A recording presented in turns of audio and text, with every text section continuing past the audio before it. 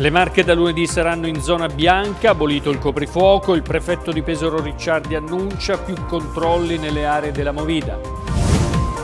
Boom di richieste di risarcimento al Codacons degli under 60 dopo il caos vaccini AstraZeneca. Martedì ci sarà un incontro online per spiegare i dettagli dell'azione. La diocesi di Fano annuncia nuovi cambiamenti a partire da settembre in alcune grandi parrocchie cittadine. La cattedrale sarà affidata a Don Giorgio Giovanelli, nuovi amministratori parrocchiali in arrivo anche a Calcinelli, Sant'Orso e San Lazzaro. La città di Pesaro è pronta a rinascere. Matteo Ricci parla dal palco di Piazza del Popolo per raccontare i suoi sette anni da sindaco. Prende il via questa sera a Fano Passaggi Festival, sarà un'edizione ricca di grandi autori e con oltre 100 eventi. Occhio alla notizia, in studio Marco Ferri. Un cordiale saluto, benvenuti a tutti cari telespettatori di Fano TV questa nuova edizione del telegiornale Occhio alla notizia sul canale 17. Come avete sentito, dunque le Marche da, eh, da lunedì entreranno in zona bianca. Allora vediamo nel servizio di apertura quali sono le nuove regole da osservare. Simona Zonghetti. Fra tre giorni quasi tutta Italia sarà in zona bianca. Il consueto monitoraggio del venerdì ha portato alla firma della nuova ordinanza che prevede il passaggio nella fascia con meno restrizioni anche per le marche. Resta l'obbligo del distanziamento così come quello di indossare la mascherina, ma se all'aperto potrebbe essere eliminato già dalla metà di luglio. In zona bianca viene abolito il coprifuoco anche se dal 21 giugno verrà tolto pure in fascia gialla. Inoltre non ci sono limitazioni agli spostamenti e riaprono tutte le attività la cui apertura non era ancora prevista prevista. Tra queste le discoteche che potranno ripartire soltanto per i servizi di bar e ristorazione. Infatti non si può ancora ballare in pista, ma ci sono delle valutazioni in corso da parte del governo. Nei ristoranti invece nessun limite per le persone che si potranno sedere al tavolo all'aperto, mentre al chiuso il numero massimo è di 6 commensali. Invece alle feste private e alle cerimonie come i matrimoni si potrà accedere con la certificazione verde, il cosiddetto Green Pass, utile dal 1 luglio anche per andare nell'Unione Europea e nei paesi aderenti. Funzionerà con un codice QR sul telefonino e potrà essere stampato su carta. Il documento attesta la vaccinazione, un tampone eseguito nelle 48 ore precedenti o la guarigione da coronavirus. Quando sarà disponibile si riceverà un sms oppure una mail. A quel punto sarà possibile scaricarlo attraverso il sito dedicato il fascicolo sanitario elettronico mediante l'app Immuni e presto sull'app Io. Chi al contrario non è pratico con la tecnologia potrà rivolgersi al medico di base, al pediatra o al farmacista. Il sistema sarà pienamente operativo dal prossimo 28 giugno. E visto il passaggio delle Marche in zona bianca, il prefetto di Pesaro e Urbino Tommaso Ricciardi ha disposto da lunedì un aumento dei controlli, in particolare nelle aree esposte al rischio di sovraffollamento frequentate da giovani nelle fasce orarie della Movida e nelle giornate festive e prefestive. Ieri sono state controllate 31 attività commerciali e 160 persone con la contestazione di due illeciti.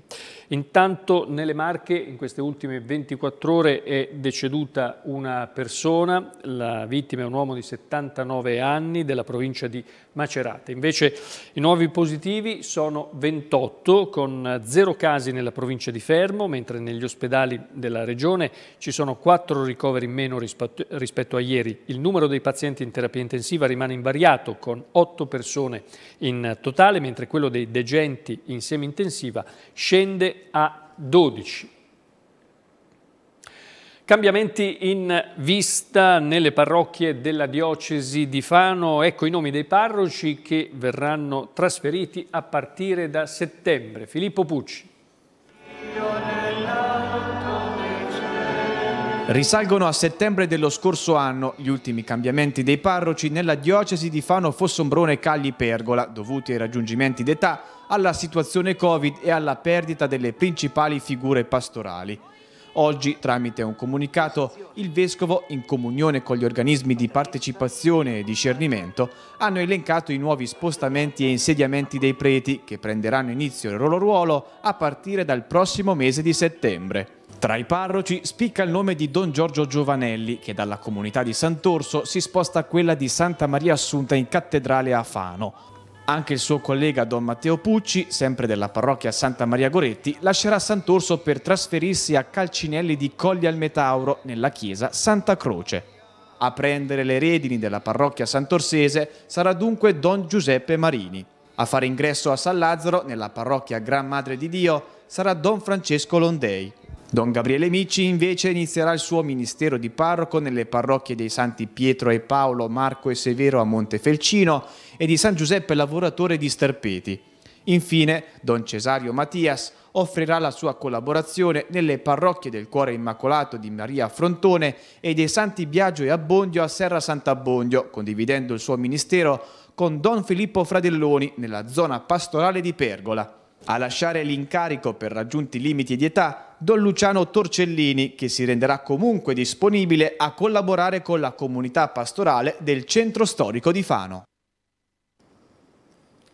E boom di adesioni nelle Marche all'azione risarcitoria lanciata dal Codacons contro Stato, Regione e ASL per il caos sul vaccino AstraZeneca agli under 60. L'associazione aveva lanciato nei giorni scorsi un'azione collettiva per far ottenere a coloro che hanno ricevuto la prima dose di AstraZeneca il risarcimento dei danni subiti anche solo per i rischi corsi sul fronte della salute, dopo la decisione delle autorità sanitarie di vietare il vaccino ai cittadini sotto i 60 anni anni. Dopo le tante manifestazioni di interesse, il Codacons ha organizzato un incontro pubblico sull'argomento che si terrà online martedì 22 giugno alle ore 11.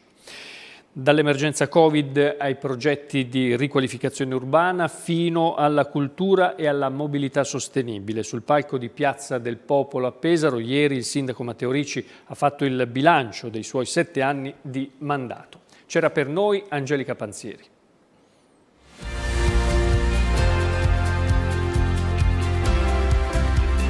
So bene che molte delle cose delle quali discutiamo anche stasera purtroppo non le vedrò da sindaco, ma io voglio fare il massimo, voglio lasciare un'eredità importante a questa città.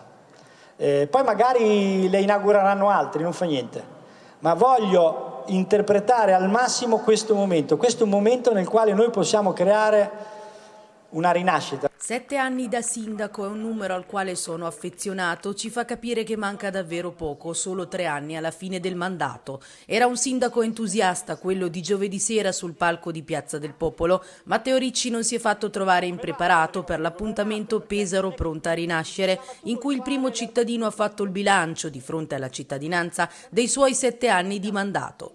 Ce ne vorrebbero molti di più per realizzare tutte le opere, ha detto Ricci sul palco, quasi emozionato nell'ammettere il suo desiderio di voler lasciare un'eredità importante a questa città cultura, sport, mobilità sostenibile e tante opere pubbliche che dal 2016 l'amministrazione comunale è riuscita a realizzare grazie allo sblocco del patto di stabilità, ha ricordato il sindaco, passando in rassegna i vari progetti, anche quelli di opere ancora in corso, come il nuovo Palace di Viale dei Partigiani, che dovrebbe essere inaugurato il 22 agosto per l'ultimo concerto del ROF.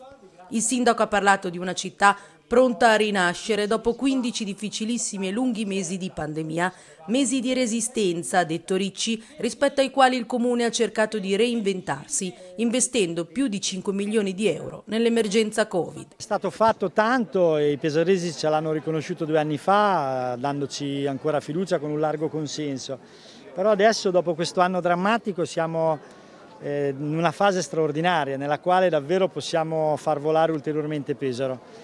Eh, ci sono tante risorse, tante risorse che arrivano dall'Europa, tante risorse che arriveranno dal governo nazionale. E noi ci stiamo attrezzando per coglierle e, e, tante già ne abbiamo prese perché già risorse per la stazione che sono state definite per la nuova stazione, bandi che abbiamo già preparato dal San Benedetto ad altri contenitori culturali del centro, delle, delle frazioni, delle colline e quindi siamo davvero in una fase straordinaria nella quale abbiamo bisogno di progettare, di darci da fare per portare più opportunità possibili a Pesaro. C'è la preoccupazione della velocità perché la mia preoccupazione è quella di non riuscire a, far, a mettere a terra le tante risorse che abbiamo già portato e che potrebbero arrivare. Troppa burocrazia, abbiamo bisogno di semplificare e velocizzare perché altrimenti il Paese rischia di perdere una grande opportunità. Capitolo Ciclabili ha annunciato delle novità questa sera. Sì, continuiamo, abbiamo già finanziato molti ciclabili anche quest'anno, la ciclabile che arriverà a Vismara, la Regione ha finanziato la ciclabile sul Foglia che arriverà a Montelabate, abbiamo finanziato quella su Via Fratti, eh, quella che andrà a Villa Fastigi verso il lago Penserini dalla, eh, nel Lungofoglia e poi tante altre che finanzieremo nei prossimi anni. E poi lo sguardo rivolto al futuro, che cosa farà il sindaco alla fine del suo mandato? Adesso intanto mi vedo pancia a terra su Pesaro perché come dicevo poco fa il mio dovere in questo momento storico è dare più opportunità possibili di rinascita a Pesaro alla nostra bella, bella provincia. Poi vedremo se i pesaresi apprezzeranno, questo sicuramente sarà un aiuto in più, una spinta in più per magari vedere se l'esperienza da amministratore locale può diventare un contributo maggiore anche per, per il mio paese. Però lo vedremo, io la politica nazionale la sto già facendo da anni come sindaco e quindi eh, penso che continuerò a impegnarmi in questa direzione.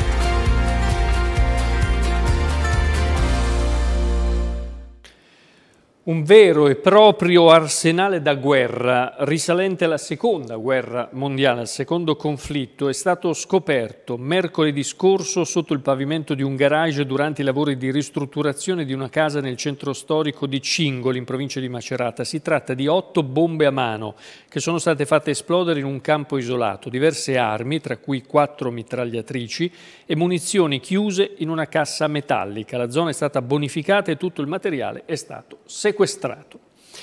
Risveglio tempestoso questa mattina a Senigallia, eh, colpita da temporali e forte vento. Spettacolari invece le fotografie scattate anche ad Osimo, Castelfidardo e Porto Recanati che hanno immortalato questa nube maestosa. Secondo le previsioni di geometeo.it, da domani una fiammata africana invece porterà un'ondata di caldo fino ai primi giorni della, prima, della prossima settimana. In particolare tra domenica e martedì avremo tre giornate in cui le temperature minime notturne notturne difficilmente scenderanno sotto i 23-24 gradi, mentre le massime supereranno abbondantemente i 35 gradi con punte fino a 38-39 gradi sui settori pianeggianti e di fondovalle.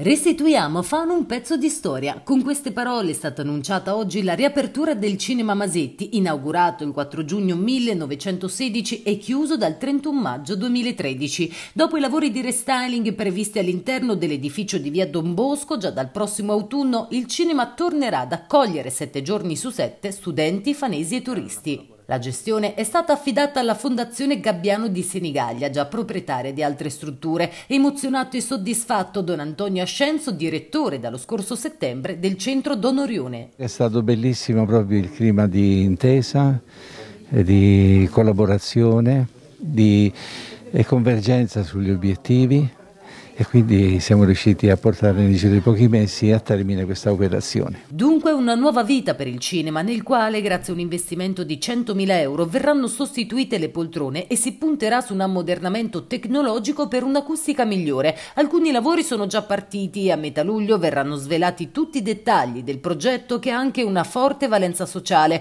come sottolineato dal presidente della fondazione Don Gesualdo Purziani. Sì, molto, molto. Il, il cinema è, è una socialità perché si arriva presto, si parla insieme, poi si vede il film, poi spesso noi porteremo anche i registi, porteremo anche persone importanti su quel tema. I nostri film molte volte sono scelte, specialmente nei giorni feriali, saranno film a tema, per cui chiameremo anche a livello nazionale, a livello regionale quindi sarà molto bello, crescita di mentalità che ce n'è tanto di bisogno eh, oggi. Ad illustrare il progetto e le collaborazioni è stato il braccio operativo Carmine Imparato. Il programmista ha annunciato la costituzione di un gruppo di giovani, tutti fanesi, già al lavoro sull'attività cinematografica. Il lavoro deve essere sinergico con l'intera struttura perché il cinema non, non, non deve andare avanti da solo, non, nessuno lo vede come un unico cavallo che corre in una prateria deserta, ma eh, deve essere eh, in collaborazione insieme a quella che è la casa per ferie,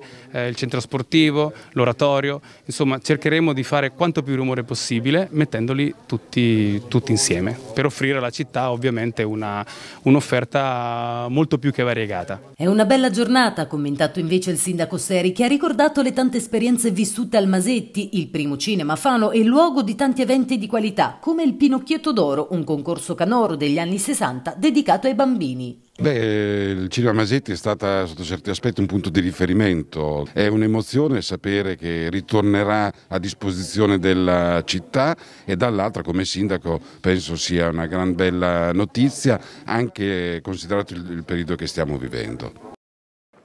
E ha preso il via questa mattina la nona edizione di Passaggi Festival e allora andiamo subito in piazza 20 settembre dove c'è collegato con noi in diretta Davide Cecchini con, vedo, l'organizzatore del festival. Buonasera Davide. Grazie per la linea Marco, sì ci troviamo qua a Piazza 20 Settembre, tutto prontissimo, abbiamo preso Giovanni Belfiori direttamente perché ci sono insomma, gli ultimi ritocchi prima di questa inaugurazione ufficiale, quindi, prima di questo taglio del nastro, ecco a dire la verità già è partito da questa mattina perché quest'anno no, vi siete ancora di più eh, rivolti a un pubblico sempre più eterogeneo, sempre diverso, puntando anche su una colazione e anche sul mare Giovanni. Sì certo, gli incontri incontri sono partiti stamattina alle nove e mezza al Bonbon Arcadelido e a Bagni Torrette e quindi abbiamo subito iniziato già di prima mattina offrendo tra l'altro veramente perché i locali hanno poi offerto il caffè a chi partecipava agli incontri e, e, poi sono proseguiti. In questo momento alla chiesa di San Francesco sono in corso degli eventi e fra poco c'è l'inaugurazione in piazza eh, prima l'inaugurazione formale con le autorità del comune di Fano, della regione Marche parteciperà anche il prefetto e poi alle 21, 21 circa insomma eh, inizierà la prima presentazione libraria con Antonio Di Bella e la L'assedio, un libro che parla eh, degli Stati Uniti d'America. A seguire e poi ci sarà la consegna del premio Andrea Barbato a Yasemin Kongar che eh, prenderà il premio a, eh, a nome di eh, Ahmet Altan che è in Turchia, non può in, spostarsi alla Turchia, non può intervenire. Eh, Yasemin Kongar sarà intervistata da Marino Sinibaldi, credo che sarà una cosa molto bella e molto significativa anche per quello che riguarda eh, dire, tutte le battaglie per i diritti civili. Ecco, non solo, ma, eh, non solo Piazza, ma anche al Pincio, eh, questa rassegna dedicata un po' alla musica, ai social che strizza un po' l'occhio magari alle giovani generazioni, con, eh, si parte con Levante questa sera, ma poi ci saranno tanti nomi. Partiamo in ritardo, partiamo in ritardo perché Levante ha avuto problemi di traffico, quindi siamo in ritardo, mm, ma eh, fra poco ci sarà Levante e sì, il Pincio è quell'arena lì. Tra l'altro io purtroppo ne approfitto per darlo qui a eh, a Fano TV una eh, notizia non bella, ma eh, purtroppo Andrea non sta bene un messaggio, abbiamo appena fatto un comunicato stampa, quindi domani l'evento con Andrea Pennacchi al Pincio purtroppo è annullato. Eh, questo d'altra parte fa parte un po', eh, sì, le, di, le cose in diretta sono così, insomma capitano. Diciamo, bisogna... diciamo, che quando uno organizza un festival io metto sempre in conto almeno un 10% di cose che purtroppo non vanno bene. Certo. E soprattutto tutto in massima sicurezza, come abbiamo sempre detto. Sì, insomma, sì abbiamo rispettato e stiamo rispettando tutta la normativa per quello che insomma, è possibile con la nostra coscienza fare, con i nostri mezzi, però insomma, si tratta di accedere a eventi letterari in sicurezza e cerchiamo di dare la garanzia di questa sicurezza. Bene, grazie. Grazie a Giovanni Belfiori e io ridò la linea a Marco in studio. Bene, grazie allora, buon lavoro, buon festival. Noi andiamo avanti con la scaletta del nostro telegiornale invece perché parliamo di adesso di refezione scolastica, l'Osservatorio Nazionale Food Insider ha classificato il menù del comune di Fano al primo posto in Italia, un risultato eccellente, ha dichiarato l'assessore ai servizi educativi Samuele Mascarin. Per il quarto anno consecutivo Fano raggiunge il podio confermandosi una delle realtà più avanzate a livello nazionale. Infatti i menù hanno un buon equilibrio tra salute e sostenibilità, promuovendo la cultura del buon cibo locale e biologico. Riprenderanno venerdì 25 giugno i lavori per le scogliere a Sassonia nel tratto eh, a, su a, sud del porto di eh, Fano. Le operazioni, spiega l'assessore Cristian Fanesi, dovevano essere già concluse ma la sospensione non è imputabile all'amministrazione. Fanesi fa sapere che alla fine della stagione estiva inizieranno anche i lavori per le scogliere di Metauriglia per un importo complessivo di 4 milioni di euro. L'intervento potrebbe durare quasi un anno. E rimaniamo in zona Porto a Fano dove è stato presentato il progetto Sali a bordo con noi. Si tratta di escursioni in barca a vela con ragazzi disabili nel segno dell'inclusione. Un'escursione in mare per un'esperienza indimenticabile e volta all'inclusione sociale. Una frizzante ciurma farà vivere la barca vela in tutta allegria tra onde, bagni, timone, rande e fiocco. Uno scambio di emozioni con i ragazzi affetti dalla sindrome di Williams o altre disabilità che prevede anche un aperitivo e momenti di spensieratezza fino al tramonto con amici speciali. Si conferma anche quest'anno l'iniziativa denominata Sali a bordo con noi è dedicata a fanesi turisti. Ad organizzarla è l'associazione Genitori Sindrome di Williams Ollus che è proprietaria di Sassicaia, la barca vela di quasi 9 metri di lunghezza attraccata alla Marina dei Cesari che è abilitata ad ospitare un massimo di 7 persone. Nicola, che ormai è di casa, poi quest'anno si è aggiunto anche il nostro amico Itri Stefano che ci dà una mano nelle uscite in mare poi abbiamo Michela dei Curiositalia che è una nuova partner dell'associazione che ci aiuta a far divulgare questo progetto insieme alla sua socia Giulia e, e poi come sempre tutti gli anni siamo supportati anche dal Marine dei Cesari, qui c'è la signora Maura Garoffi in rappresentanza del, del Marina. L'iniziativa, spiega Andrea, proseguirà fino al 30 settembre, tutti i pomeriggi dalle 16 alle 20, sempre previa richiesta, contattando questi numeri di telefono. Con questo noi vogliamo far avvicinare la gente e far capire che il mondo della disabilità non è più come un mondo del, del 1800. Oggi la disabilità è tutt'altro. I ragazzi sono molto Mm, ben strutturati, possono entrare benissimo nel, nel, mondo lavorativo di oggi, nel mondo sociale di oggi. Nicola l'anno scorso ha fatto un film, Nico e Nico, ha partecipato al primo appuntamento uh, sul programma di Real Time per due edizioni. E lì ha trovato anche la, la ragazza, l'amorosa, quindi eh, questo sta a dimostrare che questi ragazzi, se seguiti, se stimolati, se indirizzati, possono fare molte, molte, molte cose. Noi lo vogliamo dimostrare eh, ancora una volta con, con questo progetto. E per promuoverlo ancora di più quest'anno è stato coinvolto un tour operator che divulgherà l'iniziativa nelle strutture ricettive della provincia pesarese. Nicola, questo è il terzo anno consecutivo, che cosa hai imparato intanto dall'esperienza? Nell'esperienza ho imparato a timonare la barca, eh, aiutare, eh, mio, aiutare, mio, padre con le, le cime e tutto, e dopo aiutare anche a metterla dentro il posto, lo mergiare e poi dopo devi stare in equilibrio. Siete pronti a ripartire? Sì, pronti a ripartire, sì. Come tipo la ciurma dei pirati oppure come i pirati dei Caraibi, è uguale. E anche quest'anno con eh, l'inizio della stagione estiva la Guardia Costiera darà avvio all'operazione Mare Sicuro eh, lungo le coste dei comuni di Fano e Mondolfo. L'operazione vedrà impegnati sia a terra che in mare i militari dell'ufficio circondariale marittimo con l'obiettivo di garantire sia il rispetto di tutte le attività balneari sia la sicurezza a salvaguardia della vita umana. Per le segnalazioni di emergenze è necessario contattare il numero blu 1530. Torniamo a Pesaro, dove questa mattina è stato inaugurato un murales al Parco Miralfiore, nello spazio occupato fino ad ora dalla fontana. L'opera è stata realizzata dall'artista Maria Bartolucci, che ha raffigurato gli animali simbolo del parco e una madre natura a protezione.